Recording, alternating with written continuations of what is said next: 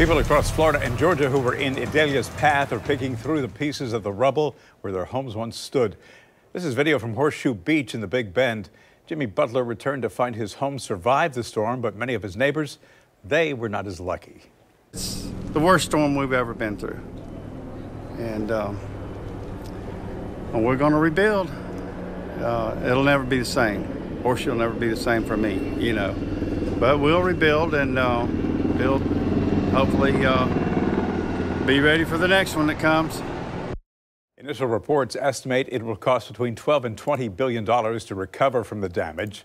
That's a significantly smaller price tag compared to other hurricanes in the recent past. For example, Ian did more than 112 billion dollars in damage. Every JEA customer who lost power during yesterday's storm had their electricity restored. And now local crews hope to help people in Georgia. News 4 Jax reporter Ashley Harding is live. And Ashley, they're heading out right now.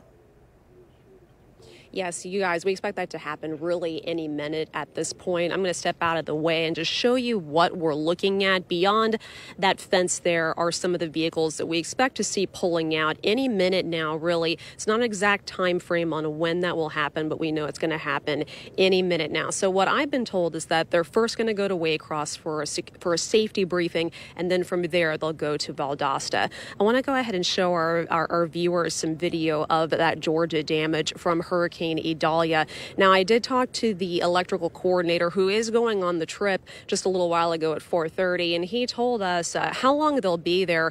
Really, frankly, is up in the air at this point. They're going to go there. They're going to assess the damage, assess what the need is, and that will determine how long they're going to be there. This is also what he told me just in the last 30 minutes. It's mutual aid. I mean, it's constant. We're, we're either going to help them or they're coming to help us.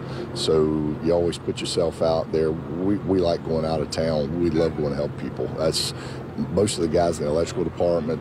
Just that's what that's the way they feel. Uh, they they want to go help because they like being helped when the time comes. We had we had mutual aid crews here from Missouri and Texas two days ago. Didn't end up needing them as much as we thought we would, thank God. But other people did, so we released them. They went on to help somebody else, and now we're going to do the same. And it's definitely going to be an extensive mission once they do leave and head out there. So we expect that to happen really in any minute now. We were told it would be 5 o'clock. Of course, we're going to stand by for that and keep you guys posted. And again, it really depends on what the need is going to be to determine how long these JEA crews are going to be there. Amanda and Bruce, I'll send it back.